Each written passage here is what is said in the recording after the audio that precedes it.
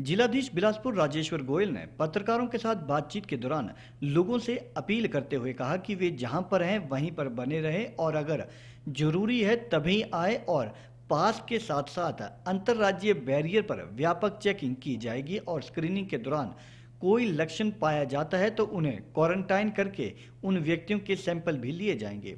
उन्होंने कहा कि अंतर्राज्यीय पास जिलाधीश के कार्यालय से बनेंगे, जबकि अंतर जिला पास एसडीएम ऑफ़िस से बनेंगे। जिलाधीश बिलासपुर ने कहा कि जम्मू कश्मीर के अब तक लगभग 420 कश्मीरियों को वापस भेजा जा चुका है और बाकी कश्मीरी लोगों के पास जारी कर दिए गए हैं। उन्होंने बताया कि हॉस्पिटल में पीपीई किट देने का मामला प्रकाश में आया है, जिसकी जाँच की जा रही है और तीन दिन के बाद उसकी रिपोर्ट आएगी, उसके बाद ही कोई कार्रवाई अमल में लाई जाएगी। जिलाधीश बिलासपुर राजेश्वर गोयल ने कहा कि अभी तक जिला बिलासपुर में कोई भी मामला कोरोना पॉजिटिव का नहीं आया है, जो कि बिलासपुर के लिए एक बड़ी राहत की खबर है। उन्होंने कहा कि पीएम केयर तथा मुख्यमंत्री राहत कोष में काफ़ी पैसा जनता के द्वारा इस महामारी से बचने के लिए दिया जा रहा है। उन्होंने बताया कि नैना देवी ट्रस्ट तथा शाहतलाई मंदिर न्यासों के द्वारा काफ़ी पैसा राहत कोष में दिया गया है। उन्होंने सहयोग करने और पैसा राहत कोष में देने के लिए जनता का आभार भी व्यक्त किया। एक मेरे नॉलेज में पीपीई किट्स का आजकल आ रहा है। मीडिया में भी आ रहा है, कल हमें एक शिकायत भी आई है।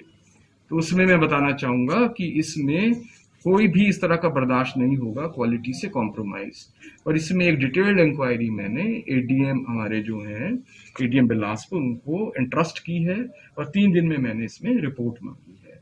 और अगर कोई इसमें दोष होगा तो इस पर विभागीय कार्रवाई जो है अमल में लाई जाएगी, अनुशासनात्मक कार्रवाई इसके अतिरिक्त एक और आपने मुद्दा मेरे समक्ष रखा कि जो बैरियर है स्क्रीनिंग के बारे में तो मैं बताना चाहूँगा कि हमारे जिला में बॉर्डर्स पे one of the best systems रखा है हमने स्क्रीनिंग का।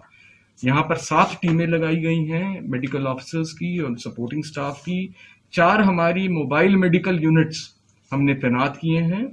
छियालीस परसेंट हमने पुलिस विभाग और हेल्थ डिपार्टमेंट को वहाँ पर डेटा एंट्री के लिए उपलब्ध करवाए हैं। तो और एक चीज़ और बताना चाहूँगा कि ये जो बॉर्डर पे होती है, ये स्क्रीनिंग होती है। ये डिटेल्ड एग्जामिनेशन नहीं होता है।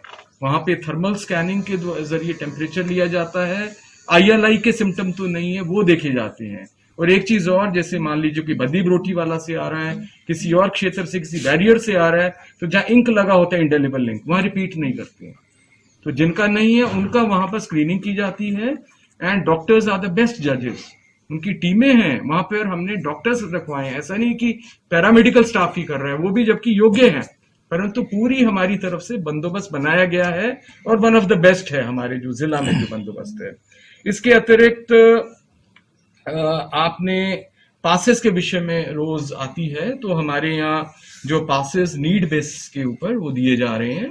और हम इस तरह से भी प्लानिंग कर रहे हैं कि ऐसा ना हो कि अंतर्राज्य और जिलों से भी टच में है कि बहुत ज़्यादा एक मतलब बहुत ज़्यादा जन से लाभ ना आ जाए।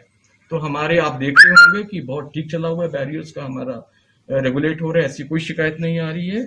और इसके अतिरिक्त, मैं थोड़ा बताना चाहूँगा क्योंकि मीडिया में इस तरह की भी खबरें आ रही हैं कि जी एक दो आई हैं हमारे नॉलेज में कि राशन नहीं मिला। तो हमारे जिला में इक्कीस हज़ार एक सौ छब्बीस जो है व्यक्तियों को अभी तक ड्राई राशन मुहैया करवा दिया गया है। और साथ में एक चीज़ और बताना चाहूँगा कि हमने इसके लिए एक नोडल ऑफिसर तैनात किए हैं अकाउंट्स ऑफिसर पंचायती राज विभाग के, और एक हमारे यहाँ एक विस्तृत सिस्टम बनाया है। रेवेन्यू पंचायती राज और यूएलबी रेस्पेक्टिव एरियाज़ में। वो इसकी मॉनिटरिंग कर रहे हैं रजिस्टर लगाए गए हैं, और बल्कि मैंने एक सर्टिफिकेट मांगा है। हमारे एसडीएम्स और बीडीओ से कि मुझे आज शाम तक वो दें कि कोई परिवार छूटा तो नहीं है। परंतु फिर भी यदि आपके कोई संज्ञान में आता है बताएँ। बट मैं ये मतलब तथ्यों के आधार पे कह, कह सकता हूँ कि कोई भी ऐसा परिवार नहीं है जिसको राशन नहीं है। हमने कहा है कि सेकेंड राउंड का एक महीने का राशन उनको उपलब्ध करवाया जाए। जहाँ तक खाने की बात है तो एक लाख छह हज़ार सात सौ अट्ठासी जो फ़ूड पैकेट्स जो हैं अभी तक ये डिस्ट्रीब्यूट किए जाए